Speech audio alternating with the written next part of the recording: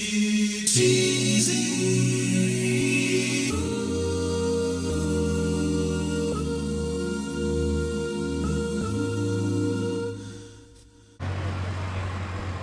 right, Taylor. So I got to ask you off the bat.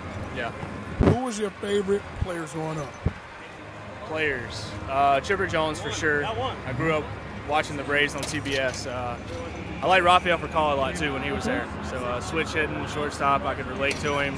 I, I was number one just like him growing up, so probably them two for sure. Okay, so I like to have fun with all the players. I do this thing called baseball Mount Rushmore.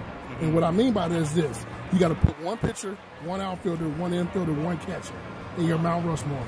And it's on the spot. So I'm going to ask you, let's start off with catcher. Who's your catcher? I'm a, this is just who I've watched play. I'm going to go Buster Posey. I like that. Okay, who's your infielder? Ah. And, ooh. I'll, let me do infield last. Okay. Let me do infield last. We'll, we'll go. We'll go pitcher. Let's do pitcher. Any pitcher. Pitcher, I'm to go. It sounds like you're a Braves guy. It's gotta, this should be easy, Yeah, right? I know. I, I'm going to go John Smoltz. Okay, okay. Outfielder. Mike Trout. Okay, Now and now infield.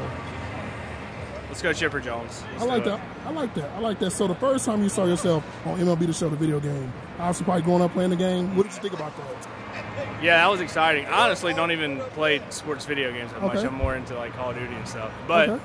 I usually people would send me texts all the time. Still do. Like, dude, I got you in the show. Da da da. da. You need to get your rating up. I'm like, trust me, man. I'm working on it. I like I like that. So speaking of Call of Duty, do you have a particular? Are you a Modern Warfare, Black Ops guy? Which one do you prefer? I actually like the black, the original Black Ops. Oh, Uh, yeah, Yeah. the Black. I mean, Modern Warfare 2, you can't really beat it either. But Black Ops 1 was probably my favorite. Okay, so let's say we could put you on any video game outside of MLB Show as your person. Mm-hmm. Would it be Grand Theft Auto? Would it be Fortnite? Or would it be Call of Duty? Which one would you want? Uh, yeah, probably Call of Duty. I like that. I like that. Okay, so say we got a walk up song. Yeah. It's named after you. You can pick any artist to do your walk up song, or multiple artists. Who would it be?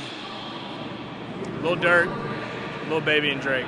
I like that. I like that. All right, last question. So I noticed that everybody's now wearing their throwback jerseys. Mm-hmm. When you see Tampa in their throwbacks, what do you think about that? Why don't we wear them every day? You like them, man? I love Yeah, I lo- they're the best jerseys we got by far. Okay, I like that. We know one follow up question. So the potential of this team, you know, with the pitching staff and some of the young guns like yourself, what do you see in this team going forward? Just, I mean, every every guy in the locker room just does whatever they can to compete and win. So uh, it's a it's a great group of guys. I mean, I feel like every clubhouse we're in, the the guys in the clubhouse are always telling us how like more social we are with each other than most teams.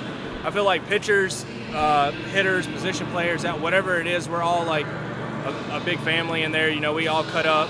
You, you see a lot of teams. I feel like pitchers will stick together, position players stick together, or bullpen starters. Everybody in there just cuts up with each other, has fun. I think that that like bond that we have really take us a good way. Right, well, Taylor, man, I appreciate you coming on, man. Congratulations, man. Keep doing what you're doing. Thank you, appreciate it.